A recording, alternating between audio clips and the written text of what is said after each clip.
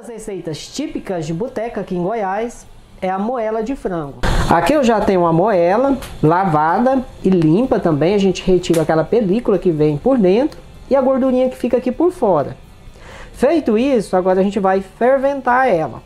Para ferventar, eu já tenho aqui a água fria. Eu não vou colocar em água quente. Geralmente a gente usa água quente, né, para acelerar o processo. Só que no caso da moela, a gente não costuma colocar ela na água quente porque ela vai croar e fica dura para cozinhar. Então aqui agora é só colocar. Eu tenho aqui em média 1 kg de moela, mas aí a quantidade é a gosto.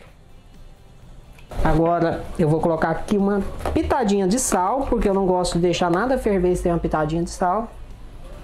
Para não manchar o alumínio e também para tirar né, aquele cheiro forte que a moela tem, a gente coloca um pouquinho de vinagre. Eu vou levar aqui a panela no fogo. Agora que eu vou deixar aquecer, depois que levantar a fervura, eu vou deixar em média uns 10 minutinhos. Depois disso eu vou escorrer essa água, vou lavar bem lavadinha a moela e já volto para a gente dar continuidade.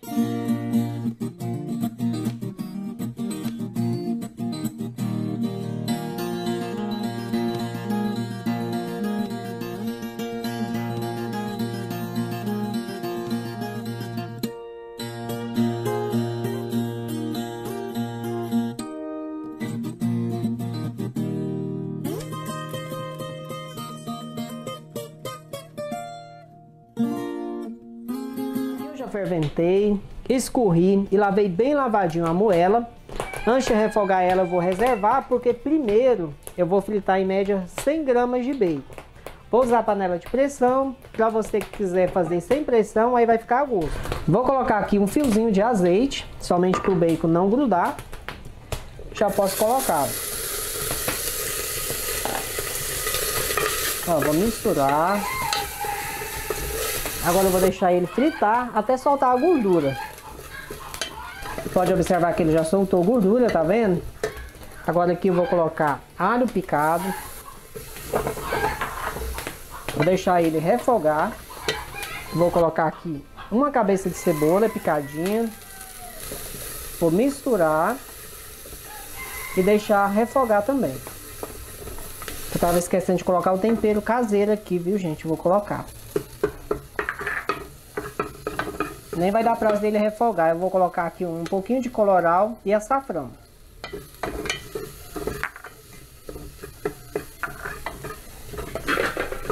Aqui eu já posso vir com a moela.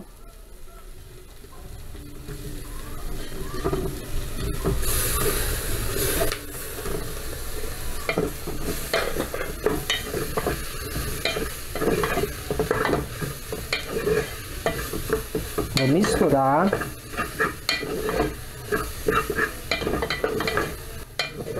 Como a gordura tá muito pouca, tá vendo? Criou até um fundo lá, ó. Pra soltar aquele fundo e dar mais sabor, eu vou pingar um pouquinho de água.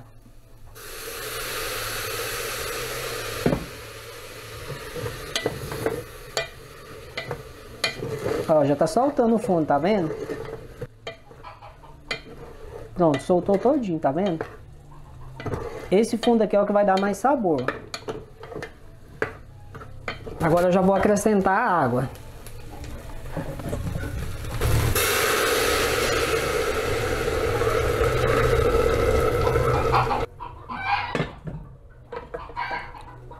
Vou dar uma misturada. Olha como tá ficando colorido. Olha, isso aqui é por causa do coloral, do açafrão.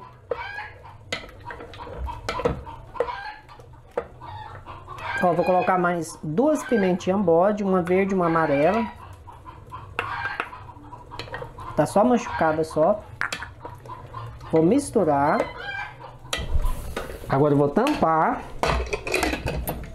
De vez em quando eu tenho que estampar para mim estar tá olhando, porque tem moela que cozinha mais rápido que as outras.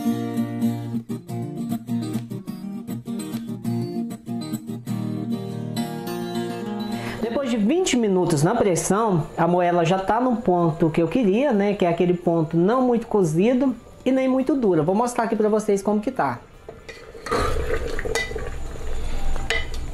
Ó, vou pegar um aqui com um garfo. Vou mostrar para vocês. Tá vendo que ela ficou bem cozidinha? Essa parte do meio dela costuma ser mais dura, que é essa daqui, ó.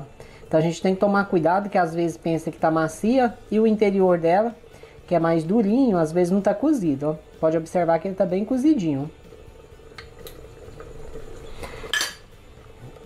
A quantidade de caldo vai ficar a gosto. Tem gente que gosta dela mais sequinha, aí vai colocar menos água para cozinhar e vai deixar secar. Como a minha receita é com caldo, tô achando que tá com pouco, vou acrescentar um pouco mais de água, porque eu vou engrossar esse caldo ainda. Eu coloquei pouquinho tempero, porque a gente vai acrescentar aqui o creme de cebola. Como ele tem bastante sal, então a gente tem que tomar um pouquinho de cuidado. Geralmente o cheiro verde a gente usa na hora de servir. Só que eu não abro mão de jeito nenhum, então vou colocar um pouquinho. E o restante eu vou reservar para a gente colocar na hora de servir. Esse aqui é só para dar um sabor, viu? Aqui nessa vasilha eu tenho mais ou menos uma colher de sopa de creme de cebola. Vou pegar aqui um pouquinho de água fria tem que ser água fria, porque senão empelota. Vou dar uma misturada para dissolver. Dissolveu o creme de cebola, vou acrescentar. Enquanto ferve e engrossa o caldo, eu já vou olhar aqui o tempero.